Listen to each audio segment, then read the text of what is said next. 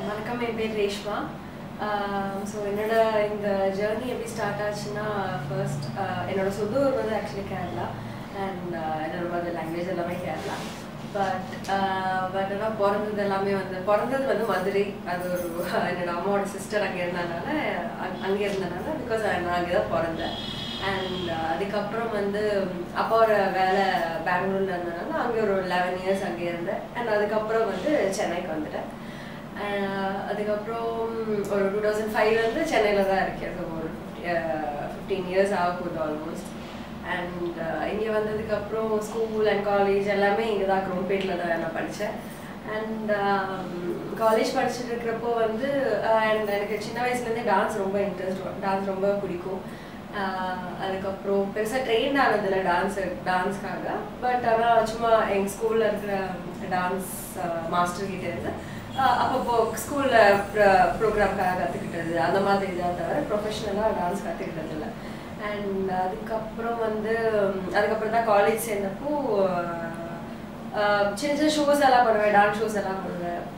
And அப்படிதான் என்னோட first investment சின்ன சின்ன ஒரு அமௌண்ட் தௌசண்ட் ருபீஸ் அப்படியெல்லாம் கிடைக்கும். அண்ட் அதுக்கப்புறம் காலேஜ் சேர்ந்ததுக்கப்புறம் என்னோட மாடலிங் ஃபீல் ஸ்டார்ட் ஸ்டார்ட் ஆயிடுச்சு. அண்ட் கொஞ்சம் நடுவில் உடம்பு சரியாமல் போச்சு. ஸோ தட் அப்புறம் என்ன டான்ஸ் ஆடக்கூடாது சொல்லிட்டாங்க.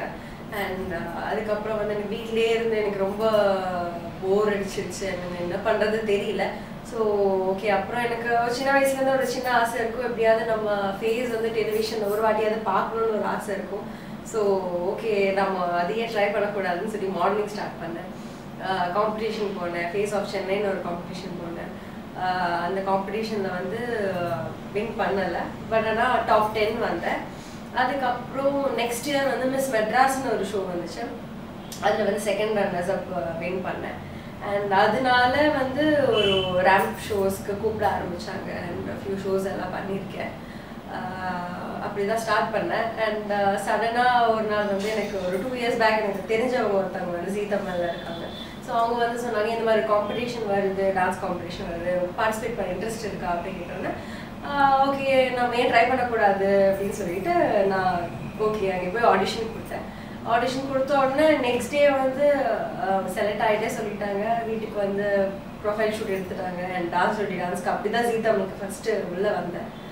அண்ட் அப்படி தான் என்னோட டான்ஸ் ஜேர்னி ஆரம்பிச்சது. அண்ட் ஸோ அப்போ தான் ஃபர்ஸ்ட் ஃபஸ்ட்டாக அந்த கேமரா இதெல்லாம் ஃபேஸ் பண்ணுறது அப்போ தான் அண்ட் அது பண்ணிகிட்டே இருக்கிறப்போ எனக்கு பை சான்ஸ் பை லக் எனக்கு வந்து பூய் பூச்சடவாவோட ஆப்ஷனிட்டி கிடச்சிது.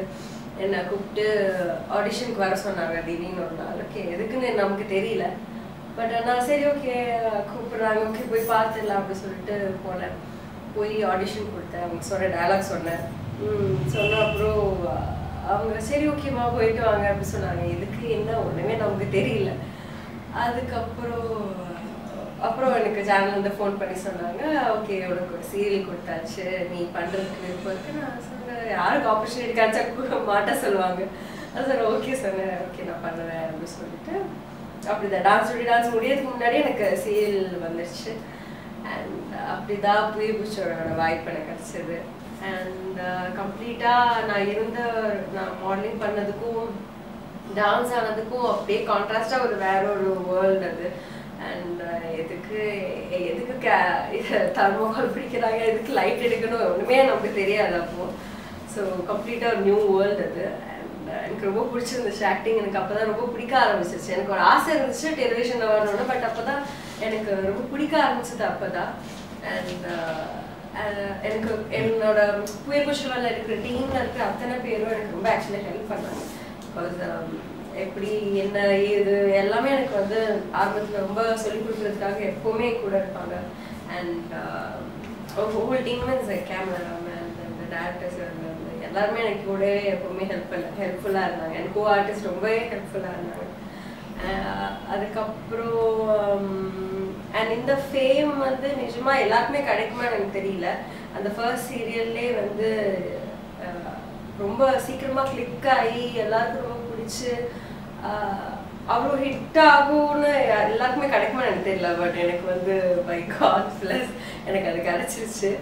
அண்ட் நினச்சி பார்க்காத அளவுக்கு வெளியில அத்தனை பேருக்கும் தெரிஞ்சிருக்கு. ஒரு இடத்துல ஒரு சின்ன ஊருக்கு போனால் கூட அவங்களுக்கும் தெரிஞ்சிருக்கு. ஏய் சக்தி வேற அப்படின்னு சொல்லுவாங்க. ரொம்ப சந்தோஷமா இருக்கும் அப்போது and so I'm blessed with so many people and family and கடவுள் எல்லாமே. அண்ட் uh, இது மாதிரி ப்ராஜெக்ட் திருப்பி கிடைக்குமான்னு கூட எனக்கு தெரியல பிகாஸ் uh, ரொம்ப ரொம்ப சென்டிமெண்டல் ஃபர்ஸ்ட் ப்ராஜெக்ட் அண்ட் ரொம்ப சென்டிமெண்டலாக ரொம்ப அட்டாச்சான ஒரு ப்ராஜெக்ட் இது. Um, அண்ட் uh, இதுக்கப்புறம் வந்து என்னோட ஃப்யூச்சர் வந்து சினிமா எனக்கு தெரியல. அதை பற்றி நான் இன்னும் யோசிக்கல. நான் எப்பவுமே இன்னைக்கு என்ன நடக்குது அது மட்டும்தான். நாளைக்கான விஷயம் நான் எதுக்கு இது வரைக்கும் யோசிச்சது இல்லை ஃபியூச்சர் பிளான்ஸும் நான் பண்ணதில்லை. பட் வாய்ப்பு கிடைச்சா நிச்சயமாக ட்ரை பண்ணுவேன். ஸோ அட்லீஸ்ட் சீரியல் ஆரம்பிச்சப்போ எல்லாருமே வந்து ஏன் ஹீரோ வந்து எப்பவுமே சிறு சிறு இருக்காங்க கோப்படுறாங்க அப்படி பேசுவாங்க. அண்ட் ஒரு எல்லாருக்கும் ரொம்ப பிடிச்சதா வந்து என்னோட கேரக்டர் ஆயிடுச்சு. பை எல்லாருக்கும் அண்ட் அதுக்கப்புறம் போக போக போக எல்லாருக்கும் வந்து அந்த சிவாவோட கேரக்டர் ஒரு ஒரு ஒரு ஸ்டேஜ்க்கு அப்புறம் அது மாறிடுச்சு. அண்ட் எல்லாருக்கும் அவங்கள ரொம்ப பிடிக்க ஆரம்பிச்சிருச்சு. பிகாஸ் அப்புறம் லவ் பண்ணுறோம் அப்படி ஒரு பிரேக் ஆயிடுச்சு. அண்ட் அப்போ வந்து எப்போ சேருவாங்க சேருவாங்க சேருவாங்க.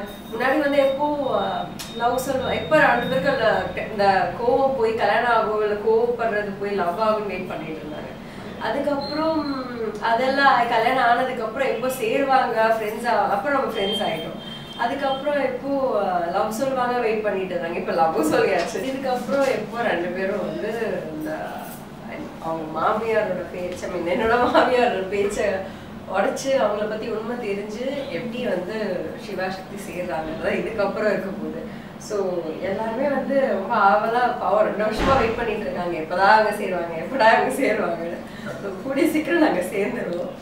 அண்ட் uh, என்னோட அம்மா கேரக்டர் பார்த்தீங்கன்னா அம்மா மேம் வந்து ரொம்ப ஆக்சுவலி ரொம்ப ஸ்வீட்டான பர்சன் நாங்கள் நிஜமாவே இதுக்கு முன்னாடி ஃபைவ் அது நாங்கள் அப்பா அம்மா நாங்கள் நாலு பொண்ணுங்க அந்த ஒரு வீட்டில் எடுத்துட்டு இருக்கிறப்போ பிஃபோர் மேரேஜ் சீன்ஸ் எல்லாம் எடுத்துட்டு நாங்கள் நிஜமாவே ஒரு ஃபேமிலியாக தான் இருந்தோம்.